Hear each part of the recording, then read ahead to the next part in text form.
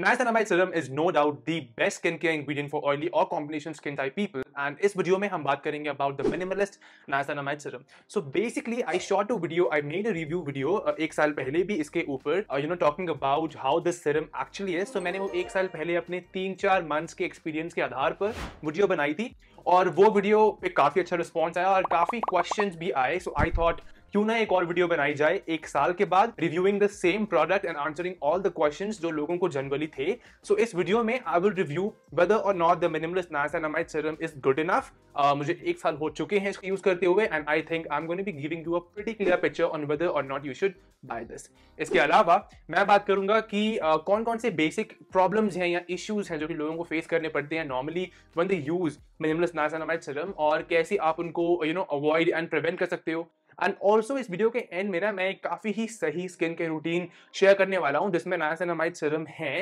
And ये skin care routine मैं use कर रहा हूँ पिछले छह महीनों से। Been working really good for me really well for me and I think ये हर ऑयली स्किन टाइप या कॉम्बिनेशन स्किन टाइप वाले बंदों को सूट करेगी। So watch this video till the end to find out everything about and around the Minimalist niacinamide serum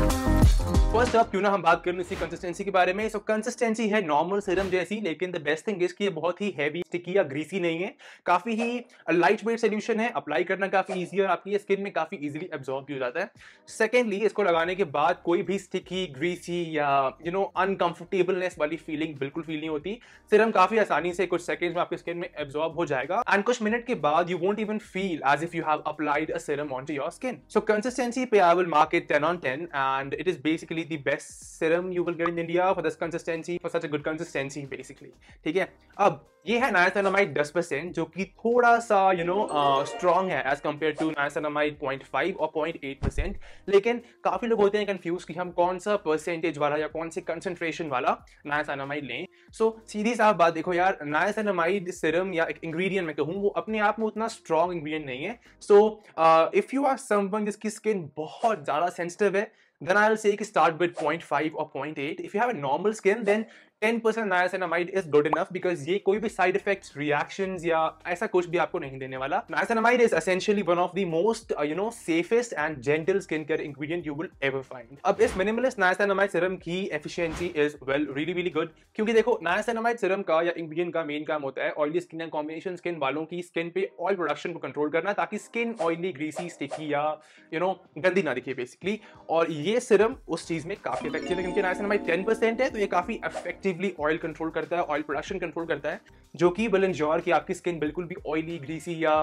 you know बेकार ना दिखे। एंड उसके अलावा it is also really helpful to you know minimize your large open pores और उसके साथ साथ will also help you get rid of mild acne severe acne है देन ऑब्वियसली ये हेल्प नहीं करने वाला। अगर आप माइल्ड थोड़ी बहुत एक्ने है कभी कभार हफ़्ते में एक दो पिंपल्स आ जाते हैं देन उसके लिए this will work right and उसके साथ साथ इसमें है hyaluronic acid so the best thing about the serum is hyaluronic acid because you know कभी कभार uh, कुछ कुछ मौसमों में आपकी skin can get excessively dry and तब ऑयली स्किन वालों को if they use the serum कोई भी एडिशनल मॉइस्चराइजर यूज़ करने की ज़रूरत नहीं पड़ेगी। ये सीरम काफ़ी हाइड्रेटिंग है ड्राई सीज़न के लिए भी। सो ऑल राउंड आपको स्पेशली दिन की स्किन केयर रूटीन में इसके अलावा और सनस्क्रीन के अलावा कुछ भी यूज़ करने की ज़रूरत नहीं है। Just a few drops niacinamide serum topped off with a good sunscreen and you are set. अब sunscreens में I recommend go for the Dermaco 1% hyaluronic aqua gel sunscreen ये काफी ही सही sunscreen है oily and combination skin type वालों के लिए और if you want to know about other sunscreens as well which are good for oily skin then उस पर वीडियो है यहाँ पे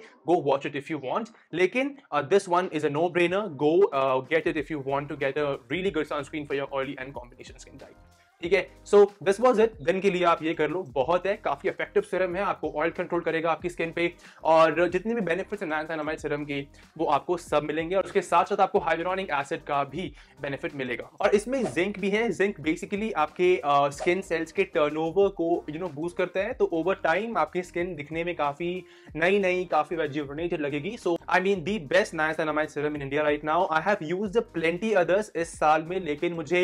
इससे ज़्यादा वर्सेटाइल वर्सेटाइल इससे ज़्यादा सही और इफ़ेक्टिव नायसेनामाइड सिरम कहीं नहीं मिला। सो so, दिन की मैंने रूटीन शेयर कर दी ठीक है? मैं मैंने कहा था कि मैं लास्ट में करूँगा शेयर बट मैं सब कुछ मिक्सअप कर रहा हूँ वेल सॉरी फॉर दैट लेकिन दिन की जो रूटीन थी उसकी हमने बात कर ली right wash your face use the serum use your sunscreen you are good to go अगर धूप में आप लंबे समय तक हो देन मेक श्योर कि आप सनस्क्रीन को रीअप्लाई करते रहो हर दो या तीन घंटे में एट योर कन्वीनियंस अब मैं बात करूँगा रात की स्किन केयर रूटीन के बारे में using this serum so again wash your face use this serum and then use the ordinary glycolic acid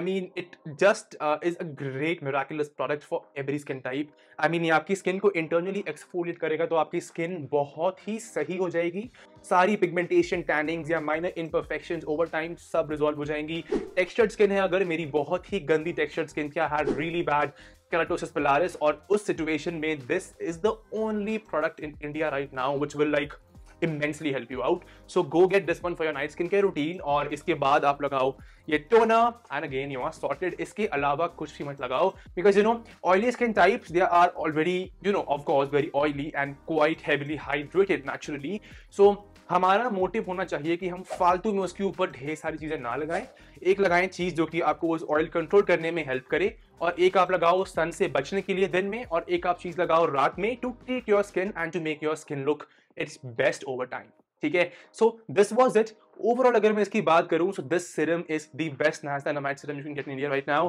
काफ़ी अफोर्डेबल है. 30 एम की बॉटल है and it work really well it it last you for about three to four months easily अब मैं करता हूँ बात उन कॉमन इश्यूज़ के बारे में जो कि लोग बताते हैं हमें हो रही है इसको पहली बार यूज़ करने के बाद। So issue number one is कि मेरी स्किन काफ़ी ही sticky greasy and heavy feel कर रही है इसको लगाने के बाद। वेल well, उसका solution is simple because see you don't have to use a lot of this product at one इसके दो ड्रॉप मैक्स टू मैक्स तीन drops are enough if you using more than that then for sure ये serum या कोई भी सिरम या कोई भी प्रोडक्ट आपकी ऑयली स्किन को, क्योंकि वो ऑयली है, और ऑयली करेगा और और दिखने में ग्रीसी एंड स्टिकी बनाएगा। So two three drops of this serum या कोई भी सिरम यूज़ कर रहे हो अपने ऑयली स्किन पे, दो या मैक्स टू मैक्स तीन drops are more than enough issue number two which I saw that people were complaining उनको ये लगाने के बाद हो रहे हैं ब्रेकआउट्स वेल दैट मीन्स कि आपकी स्किन है काफ़ी सेंसिटिव या आपकी एक्ने हैं काफ़ी ही severe well in both situations I would recommend you कि आप परचेस करो इसका लोअर कंसेंट्रेशन ना कि 10% formula and if you have severe severe acne then please consult a derm ठीक है? आप उसका कोर्स कंप्लीट करो, अपनी एक्ने को कंट्रोल में लेके आओ and then start using the the 10% niacinamide serum and if you have sensitive skin, then again, lower percentage use करो, वो भी हफ़्ते में दो या तीन बार. उसके बाद धीरे धीरे उसकी एप्लीकेशन को यू नो डेली कर लो and then you can eventually switch to 10% दो या तीन महीने के बाद and you will be sorted and then some issues मैं इश्यूज़ नहीं कहूँगा मैं क्वेश्चंस कहूँगा, थे कि will this help you remove tanning pigmentation will this brighten your skin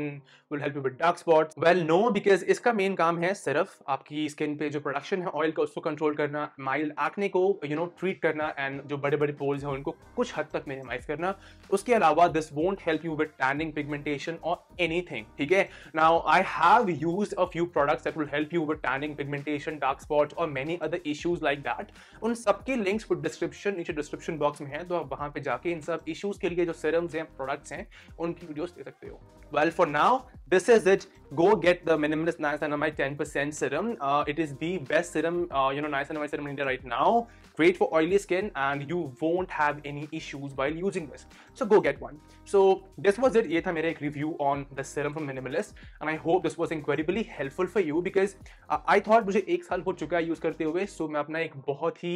you know real experience share करूँ इसके साथ और क्योंकि मैंने इसके साथ बहुत चीज़ें एक्सपेरिमेंट भी की हैं so कौन कौन सी चीज़ें इसके साथ काम करती हैं वो भी शेयर करूँ जिससे कि याद आया कि niacinamide serum plays really well with every kind of ingredient भले वो विटामिन सी हो विटामिन ई हो अल्फ़ा हाइब्रोटीन हो रेटिनॉइड हो जो मर्ज़ी हो आप इसके बाद वो सब चीज़ें लगा सकते हो कोई भी इशू नहीं होगा सो really great serum go get it and i should wrap my video for now बहुत ही लंबी हो गई है video let's catch up next time until then see you soon stay fit stay healthy and thank you so much for watching oh well and don't forget to subscribe like and share bye